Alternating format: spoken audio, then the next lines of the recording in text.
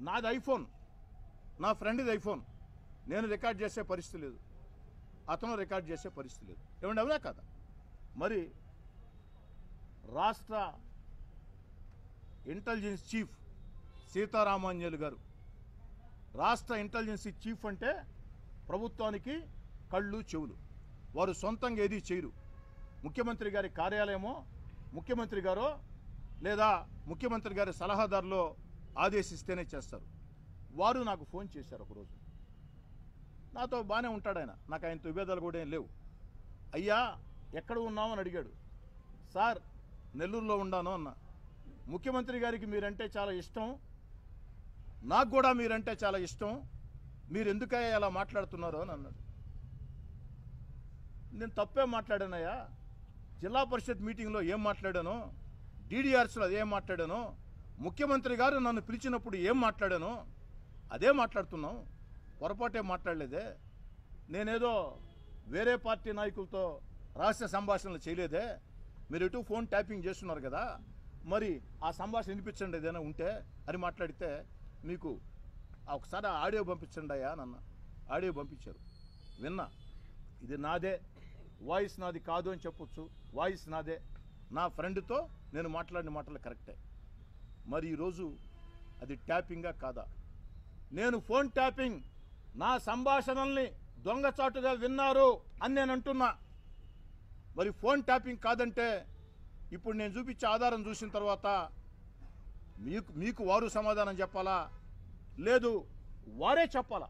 ఇంకేమిటని phone tapping అని నేను అంటున్నా. ఫోన్ ట్యాపింగ్ అని నిరూపించేదానికి ఈ ఒక్క ఆధారం నా దగ్గర ఉంది. ఈ ఆధారం మీకు చూపిస్తున్నా. ఫోన్ ట్యాపింగ్ కాదు అని నిరూపించాలంటే సమస్త ప్రభుత్వ వ్యవస్థలు మీ చేతుల్లో ఉన్నాయి. అన్ని వ్యవస్థలు మీ చేతుల్లో ఉన్నాయి. మీరు ఫోన్ ట్యాపింగ్ కాదు అని నిరూపించాలంటే అది మీ చేతుల్లో పని. నేను ఫోన్ ట్యాపింగ్ అంటున్నా. మీరు ట్యాపింగ్ కాదు అంటున్నారు. మరి మీ చేతుల్లో అన్ని వ్యవస్థలు ఉన్నాయి. నా చేతుల్లో ఉన్న ఆధారం నేను చూపిస్తున్నా. రెండు ఐఫోన్ల మధ్య సంభాషణ రికార్డు చేయలేనప్పుడు మరి ట్యాపింగ్ గాక ఏమవుతుందని అంటున్నా. ఈరోజు ఎమ్మెల్యేల మీద ట్యాపింగ్ చేశారంటే ఇది ఎమ్మెల్యేలు తాగదు. మంత్రుల మీద చేస్తారు. హైకోర్టు చీఫ్ జస్టిస్ మీద చేస్తారు. జడ్జిల మీద చేస్తారు. ఐఏఎస్ మీద చేస్తారు. ఐపీఎస్ మీద చేస్తారు. ఎంపీల మీద చేస్తారు. మీడియా యాజమాన్యాల మీద చేస్తారు. విలేకరుల మీద చేస్తారు.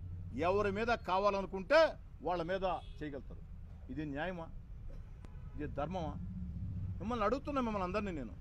మీరు ఒక మీడియాలో పనిచేస్తూ ఉన్నారు విలేకరులుగా. మీ యాజమాన్యాలు మీ విలేకరులుగా పనిచేస్తున్న మీ మీద టెలిఫోన్ ట్యాపింగ్ చేస్తే దొంగచాటుగా మీ సంభాషణలు వింటే ఆ మీడియా సంస్థలో ఒక్క క్షణమైనా మీరు ఉంటారా? నమ్మకం లేని చోట నమ్మకం సన్నగిలిన చోట ఉంటారా? మూడు తరాలుగా ఆ యొక్క కుటుంబంతో ఉన్న వైఎస్ఆర్ కాంగ్రెస్ పార్టీ కష్టకాలంలో ఉన్న జగన్ గారికి వీర విధేయుడిగా ఉన్న నా మీద ఫోన్ ట్యాపింగా? అలాంటి చోట నేను ఉండాలా? నేను నటించేవాడిని అయితే డ్రామాలు చేసేవాడిని అయితే పదిహేను నెలలు అధికారం ఉంది. అదేదో ఆఖరిలో వెళ్ళవచ్చు. మధుగారు సాక్షి మధుగారు ఆఖరిలో వెళ్ళవచ్చు. ఎందుకంటే చాలామంది చూసాం మనం.